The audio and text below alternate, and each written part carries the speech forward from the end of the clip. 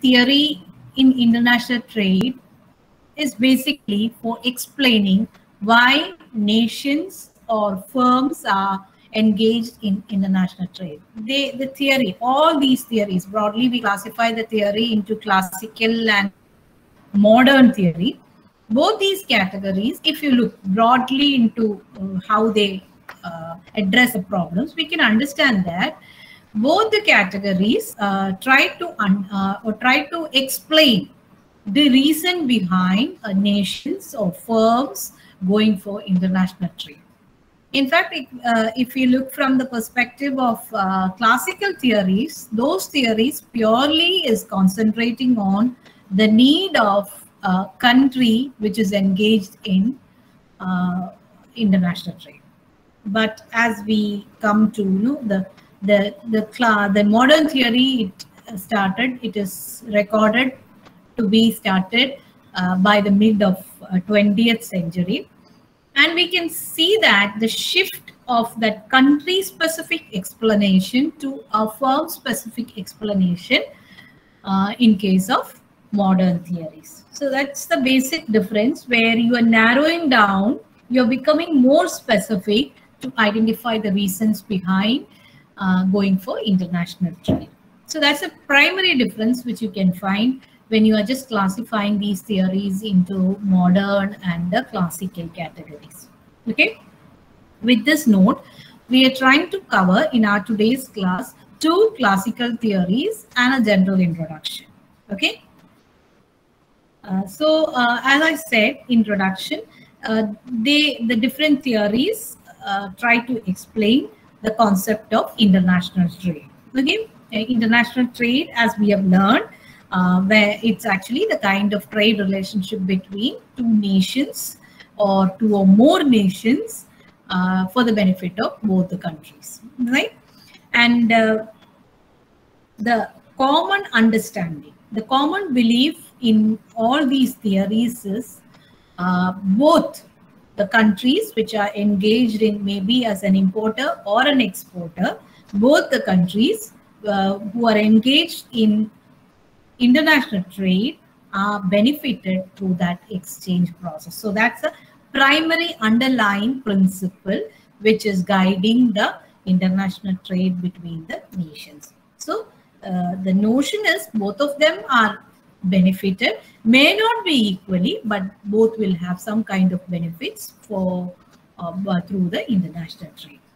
And as I said at the beginning, the main uh, historical theories classic uh, historical theories come under the classical category. And uh, the classical theories are from the perspective of country or country based explanation.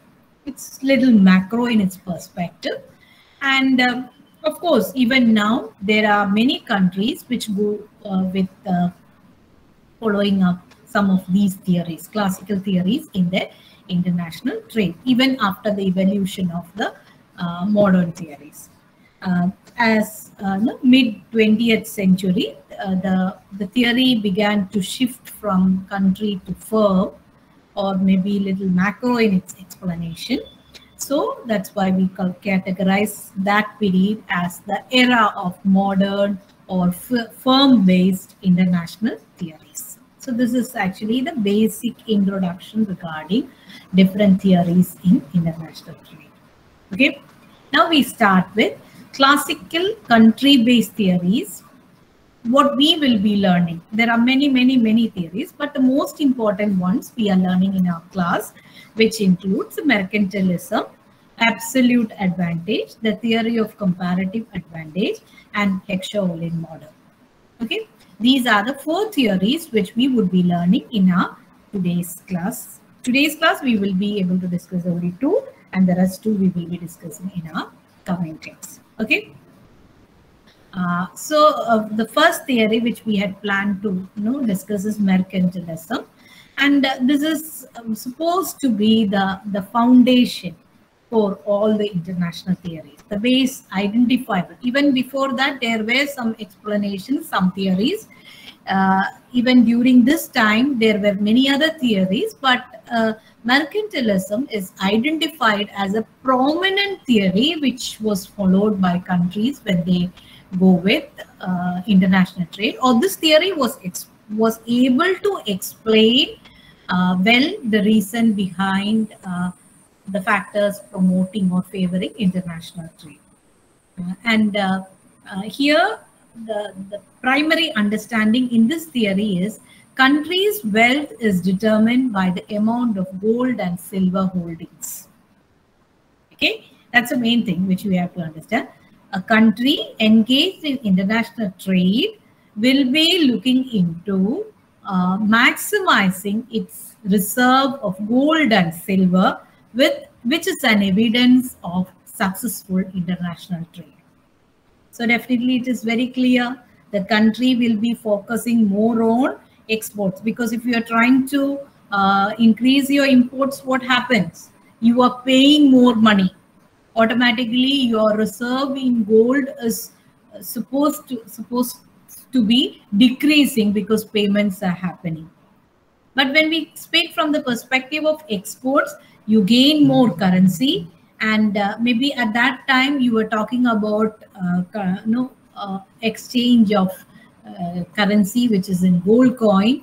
So that will uh, lead to an increase in your gold reserve which is an indication of favorable trade balance so th those time also uh, the international trade theory was explained on the basis of trade deficit and trade surplus and trade surplus is supposed to happen when your reserve in gold is increasing through your export. So that's why it said countries should increase its holding of gold and silver by promoting exports and uh, by discouraging the imports. Now, how does a, a country go with discouraging the imports? Uh, during those time, there were many mechanisms which were used, but primarily it was uh, through the process of concentrating on domestic industries and uh, ensuring that domestic industries are being set up for meeting the uh, local demand. Wherever, like, uh, no, if it is possible for you to go or engage with the production process, uh, owing to the demand coming up from the local market, that was practiced in order to minimize the kind of uh, imports which the country have to engage if not if not being produced in the local market. And again one one more uh, prominent measures which even now we can see countries like as i put here japan china singapore taiwan germany all these countries go with the basic principle of mercantilism where they try to discourage uh, imports uh, by going with a lot of uh, uh, restrictive policies or a lot of, uh, as you say, you know, protectionist policies where local industries are protected through various measures like providing them financial assistance, providing subsidies for the products, and helping them to find markets for their products, uh, import of heavy machinery which can substantiate the production process. All these, through that, they are trying to protect the local industries and uh, by limiting the imports. And uh, they also try to promote the exports by uh, you know, uh, encouraging uh, the, manuf the manufacturing sector and the uh, country-based industries. So that is why it has been said that the theory of mercantilism always aim at reducing the imports and increasing the export. Even today, the theories remain same, but the mode of explanation is little different. That's a primary difference which you will find once uh, you finish learning with the classical uh, and the modern theories. That's what you find. The basic idea behind uh, uh all these classical and modern theory is same, but how it is explained is different. That's all. Okay. So uh, this is the explanation that is given by mercantilism, where it's a broad kind of explanation where they just go with the imports and exports and the trade deficit and trade surplus. That's the only thing that has been explained and the rest is all measures taken at the country level to ensure that the country is going with the trade surplus that will again result in more gold reserve or silver reserve and uh, that will uh, uh, ensure that there is no trade deficit. If you have surplus, definitely you do not have deficit, right? So this is about theory of mercantilism. Now the second one is, so remember I have said few countries who go with practicing the, the, uh, the theory of mercantilism even today through their market practices, okay?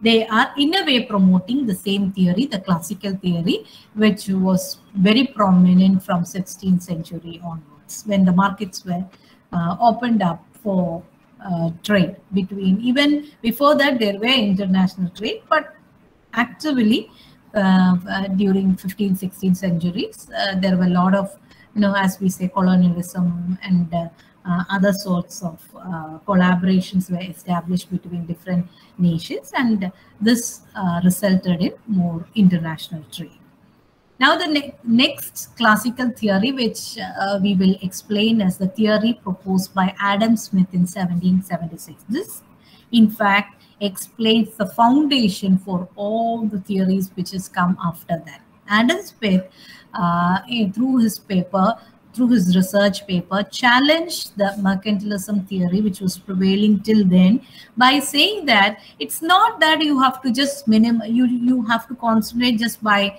minimizing your imports and exports, but you have to take up a uh, a stand where you are concentrating on areas where you have competitive advantage. So he introduced that word where you have absolute advantage. He introduced it as absolute advantage. Say maybe because of the climatic conditions, because of the uh, geographical place, or because of the uh, demographic other demographic profiles, you might be having some kind of absolute advantage with respect to certain products. So as per Adam Smith's theory, uh, it's it is said that the countries really have to identify such products and services and concentrate on that.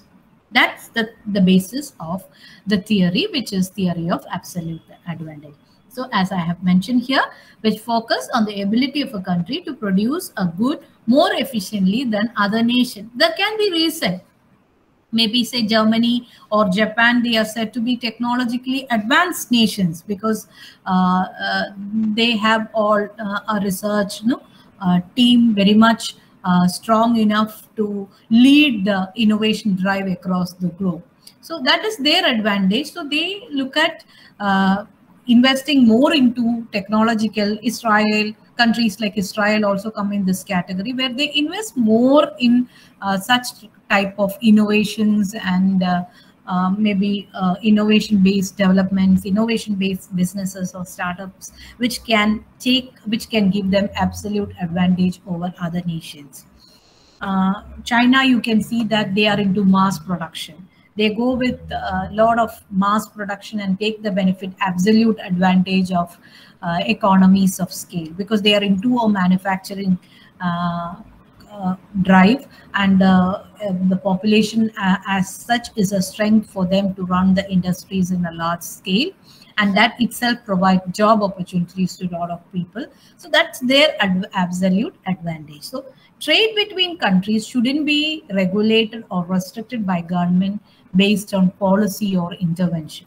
So earlier in mercantilism we uh, we learned that nations used to discourage imports through various restrictive policies, protectionist policies, and encourage exports through various uh, regulations and measures. Here, the theory became a little more open.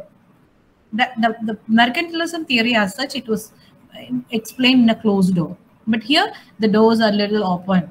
It says that you really have to look around and identify the areas where you have absolute advantage and engage yourself in such production.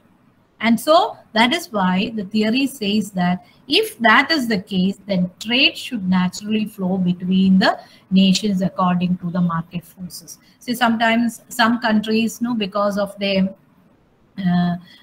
climatic conditions or because of the geographical location, they might be able to produce uh, certain products with high quality. Say, for example, coffee, rubber, tea. Their quality of production can be very high. It's not because of the crop. It's not because of some kind of uh, specialized uh, farm uh, you know, uh, seeds or manure or technology, but it is because of the geographical location.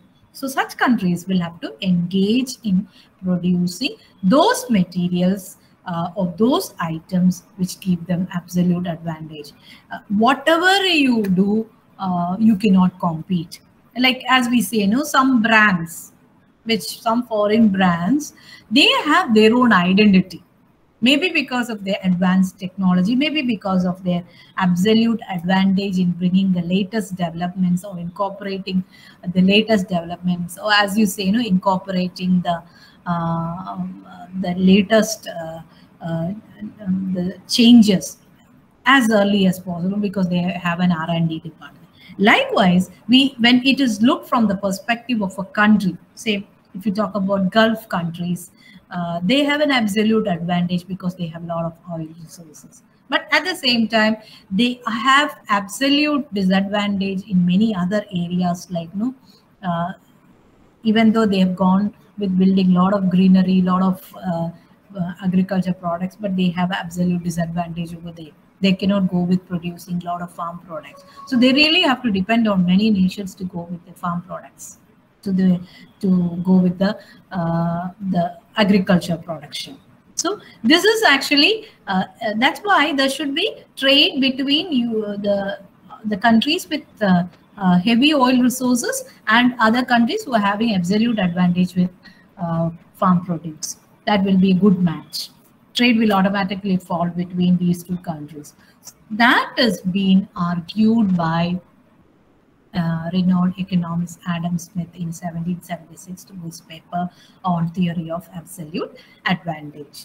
And uh, uh, ultimately, the paper concluded by, uh, there are many revisions that has happened after uh, being published for the first time, but the end uh, process that is guaranteed through this theory is efficiency being brought in nations. Because when you are constant as we say you know for individuals all of us may not be so good in studies but maybe we are good in other activities maybe cultural activities or maybe we have some good in communication good orators or good in singing. So we really have to identify our area. Maybe we will have to do the rest it's the need of the hour. We have to go with the rest, but we really have to capitalize on the area where we have an absolute advantage.